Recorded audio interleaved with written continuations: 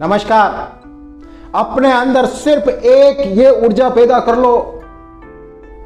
मुश्किल से मुश्किल काम आपको सरल लगेगा।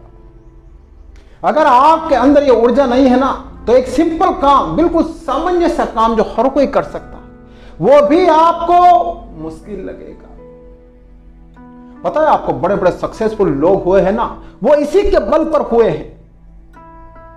जिसके मन में ये चीज़ नहीं होती है ना, समझ लो वो इंसान, जीवित इंसान नहीं है। जीवित होकर भी मरा हुआ इंसान है, वो मरा हुआ। तो ऐसी चीज़ क्या है जो आपको अपने अंदर रखनी है? अगर आपको बहुत बड़ी सफलता हासिल करनी है, अगर आपको बहुत बड़ा अचीवमेंट लेना है तो अगर आपके अंदर यह रखना होगा। और वो चीज़ क्या है, ये देखिए।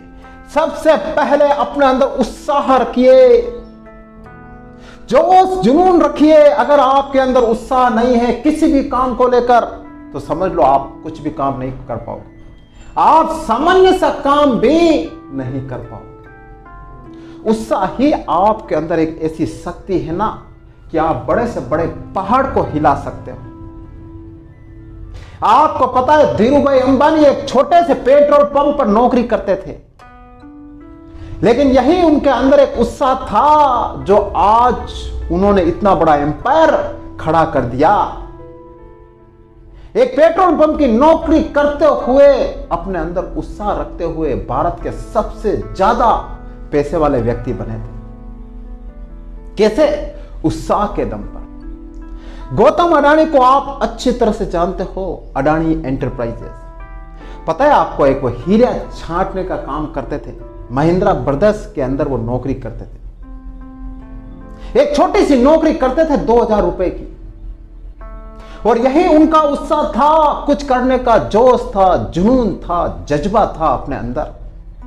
और आज आप सब जानते हो, गौतम अडानी एशिया के दूसरे नंबर वन पैसे वाले हैं। डी मार्ट के मालिक राधा कृष्ण जी को आप अच्छी तरह से जानते हो। एक छोटे से स्टोर से शुरुआत की थी। और आज डीमार्ट पूरे भारत में स्थापित है। और वो भी सक्सेसफुल रन कर रहा है। कैसे? यही उत्साह, जोश, जुनून, उमंग। ऐसे लाखों एग्ज़ाम्पल मैं आपको बता सकता हूँ। इंसान ज़ीरो से शुरुआत करता है और इसी उत्साह, जोश और जुनून के बल पर इतिहास रच देता है। रामायण में एक खंड आता है, अच्छी तरह से जानते हो। जब सारी वानर सेना समुद्र के पास खड़ी होती है, उनको पता है कि माता सीता समुद्र के उस पार है। लेकिन कोई समुद्र पार करने की हिम्मत नहीं रखता। जामवंत जी मना कर देते कि मैं वृद्ध हूँ, मैं नहीं जा सकता। अंगद कहते हैं कि मैं जा तो सकता हूँ, लेकिन आ नहीं सकता। हनुमान जी में वो शक्ति होती है, परंतु पता है आपको, हनुमान जी के अंदर उत्साह नहीं होता है।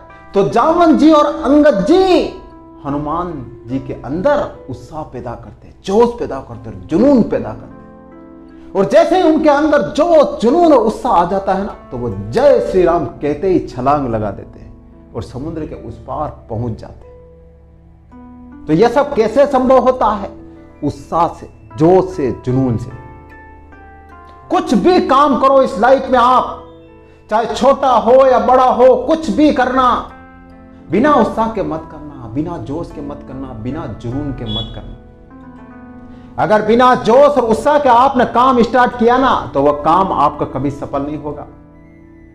तो कुछ भी काम स्टार्ट करो। उत्साह के साथ में करना उत्साही व्यक्ति कुछ भी कर सकता है।